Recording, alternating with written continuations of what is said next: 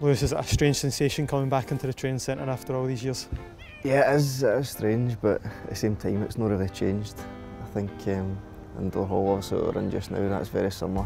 But out on the pitch and stuff, you can see just the whole club has sort of went up a couple of levels. And for when I was coming through as a youth, and probably when I was here in the first team as well. been really good. Um, obviously nice to come back, see a few familiar faces, but I think everybody here, uh, it's been a joy so far. It's,